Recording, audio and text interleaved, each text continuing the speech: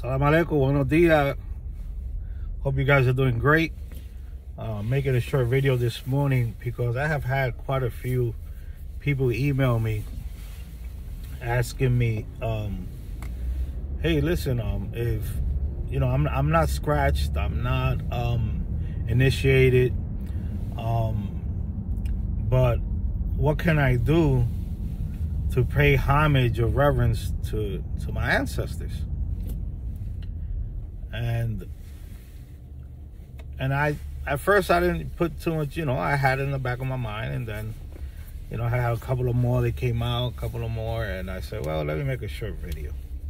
And I'm to explain to you something real quick. Um, paying homage to your ancestors does not require you to be initiated into into any uh, Afro-Cuban uh, tradition or any tradition at all.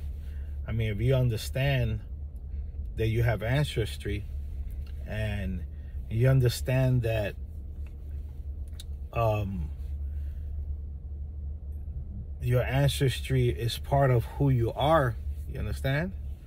Because you descend from that line, you know, that bloodline, that DNA, you know. Um, you could always, always talk. Talk like if you had them in front of you. You understand? Like, you know, you're in your house and and and you're either sitting down or standing up in a room or whatever and you start talking to them and naming if you know names of you know mom dad grandpa grandfather great great granddad great great grandmom um, if you don't know the names uh, you know uh, uh, further than that you know you still you still call upon them as far as you know you know um, you know like as far as I'm, you know i ask you guys i ask you know such and such they say i ask my ancestors to protect me, to guide me, to help me, to walk with me, um, and help me uh, uh, accomplish certain things um, on that nature. Um, you know, you can always talk like if you're having a conversation with a regular person, face to face. You know, um, some people might seem seem it odd, but the only thing that you don't see from a spirit is and not all the time because sometimes you do is the body the form you understand? But that doesn't mean that that spirituality could not be there. That spirituality could not be surrounded around you. That spirituality cannot be uh, protecting you or or close to you. You know sometimes we let's let's say like this. Sometimes okay let's say you're driving one day right? And you're gonna go do a certain task. But something tells you don't turn through that street. You always turn through that street but this time it told you don't turn through that street and you don't turn you might hear in the news that there was an accident. And that's and you say, oh wow, I was going to go down that street and something told me to make a right. Could not that be one of your ancestors guarding you, preventing you from getting into an accident? That's what I mean.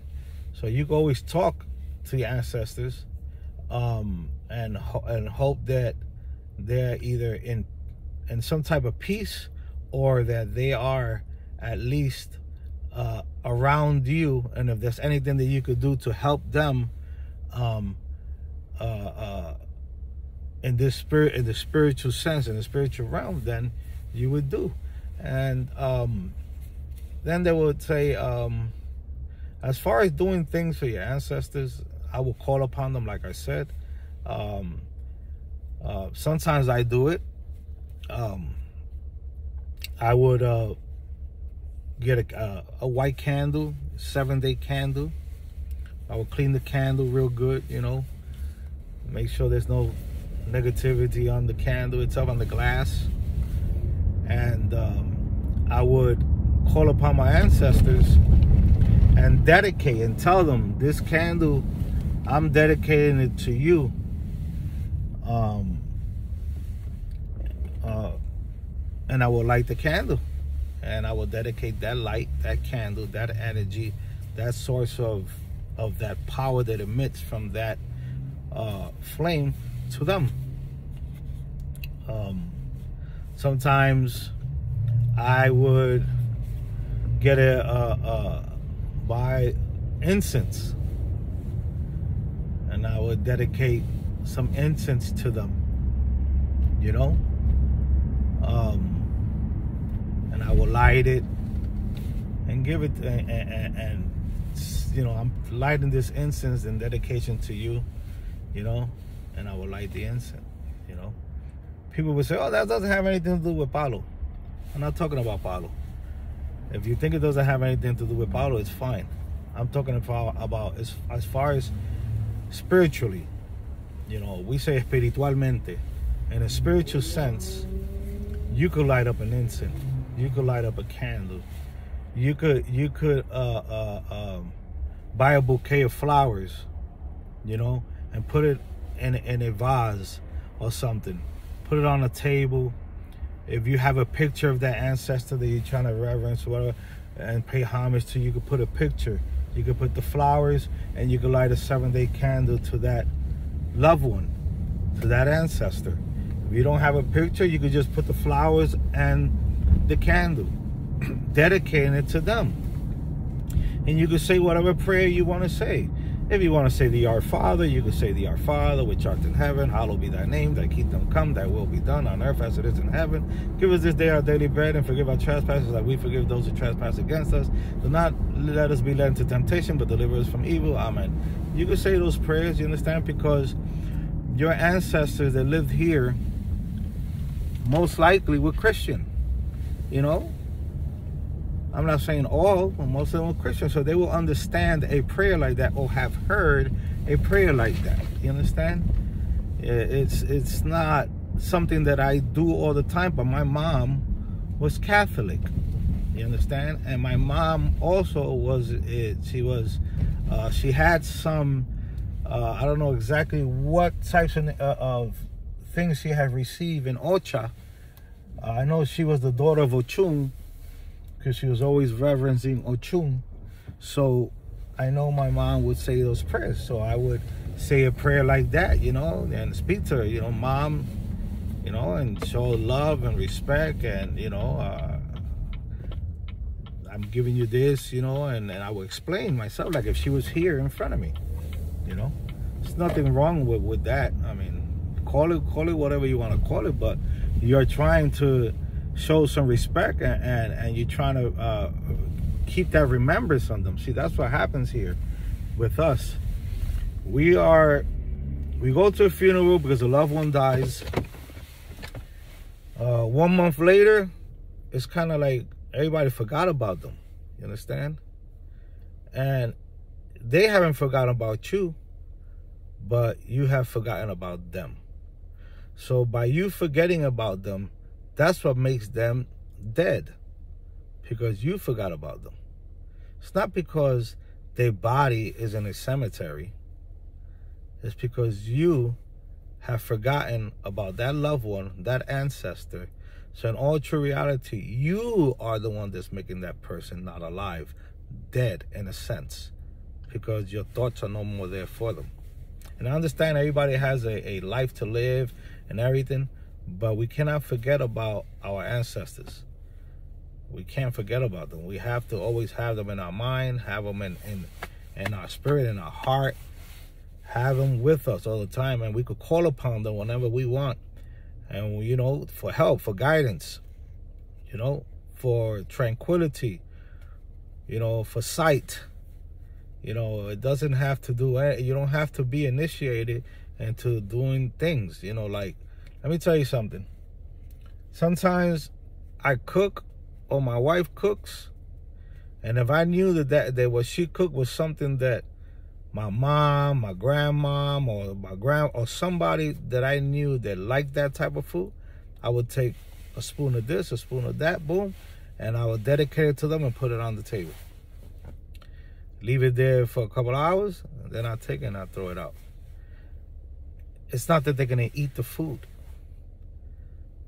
It's the remembrance of what they liked, that they see, they could smell, they could feel the energy from it, absorb the energy from it. You understand? this what's important. So don't get stuck in I'm not a santero, I'm not a spiritist, I'm not a palero, I'm not no no. Don't get stuck in that. If you feel as though you want to reverence your ancestors, do what comes to your heart to reverence them, to acknowledge them, to let them know that you're here, that you know that they also are here with you, especially if you feel anything. Like if you feel a, a nice sense of a presence, you know, that feels calm, it's not something like that you feel like it's negative, like it's negative, then you know that you have something that's with you, you know? And, you know, I can only talk about myself. I am uh, a child of four. I have three sisters and myself. I was the only boy my mom had. My mom loved all my sisters like she loved me. But for some reason, because I was her only boy, she felt a little more, I don't know, some type of connection or something towards me. She didn't treat us no different, but she will always say, you know, you're my only son, you know, you're my only boy. And I didn't understand it in the beginning when I was younger, but when I got older, I understood because I'm not saying that daughters don't love their moms, but when a mom has a son, or a son has a mom, the son loves his mother to death. I mean, it's something it's something that you could you could barely even speak about how much love you have for your mother as a as a boy. You know, and then when your mom is not around, you know, you lose a chunk of yourself. You know, it, it feels like you do. My mom died at the age of 52 due to cancer um, very young, beautiful lady, very, very uh, uh, educated, uh, spoke both languages, English and Spanish, you know, born in New York and Manhattan. Um, you know, she lived a hard life also, but uh, she always kept being my mom and uh, got along with everybody. You know, we lived in the Bronx. That's a multi multicultural place. So, you know, I lived around uh, uh, uh brown people and and Latinos practically all my life, even here in Philly. You know, that's who I lived around with and grew up with. Um, so you know, just do whatever you want to do and on what you feel, what comes to the heart. If you want to put a fruit, dedicate a fruit. If you want to put a, a, a, a, plate of some food, dedicate a plate of some food. If you want to put flowers, you like that, you know that that person like roses, like uh, sunflowers, like white flowers, put it to them, dedicate it to them. You want to light them a candle, put it to them, light them a candle. Whatever, whatever comes from you, do it. And all that does is makes you feel better and it gives that essence, that spirit that acknowledgement that you acknowledge them and that you haven't forgot about them. I hope that I made a little bit of sense. You know, uh, like I said, you don't have to be initiated into anything to give your ancestors some reverence and pay homage to them. You know, it's about knowing and remembering them what counts, not forgetting them, keeping them alive. Because through you, you're keeping them alive. Okay? Have a great day. Be safe, guys. I hope that um, I gave you a little bit, you know, that you could kind of understand. Like, it's not, it, it's a lot of things that you could do, but the most simplest forms of doing something for your ancestors is this. And other than that, if you go to the pantheon, to the cemetery, whatever, you know, go over there also, you know, visit them, clean their plot out.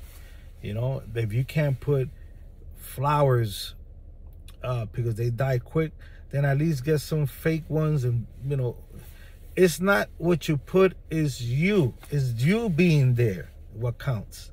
It's not much the flowers that you put at the plot. It's you. They're looking at you. The intention that you are there. That's what they're looking at. Be safe, guys.